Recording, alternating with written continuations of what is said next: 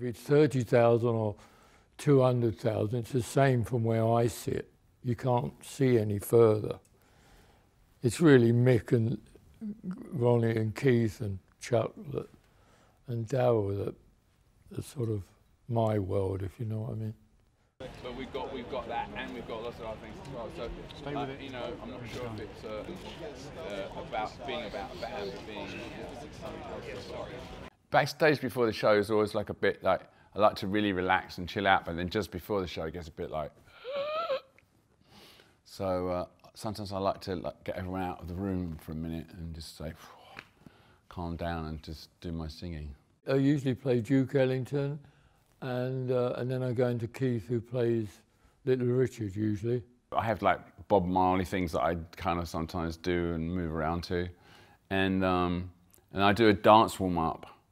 Um, so I do a couple of like current tunes for dance warm up. Playing them with the Rolling Stones is what I, I do. It's it's part of what I am. So that's the important thing to me. You know, I used to do like sh- would be a year of shows basically, and not much else.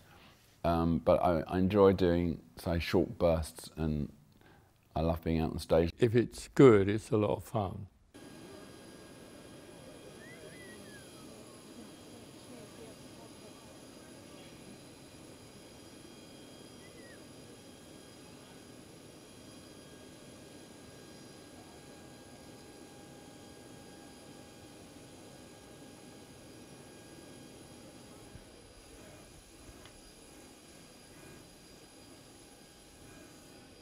I think you have to listen to more current things as well. I don't mean that just this week, but I mean in the last year, year or two, and you know, you, you mix those up with your old ideas that are always in your head because a lot of those old songs, I feel, a lot of the times that I've absorbed them so much, I know every little tambourine hit and every little bass line. There's quite a lot of songs that Mick and Keith have written, and quite a way back. So you hope that there isn't something you've.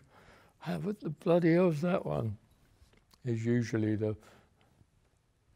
I rush over to Chuck and ask him. What are you doing here? No, no, no. Do you have any more questions?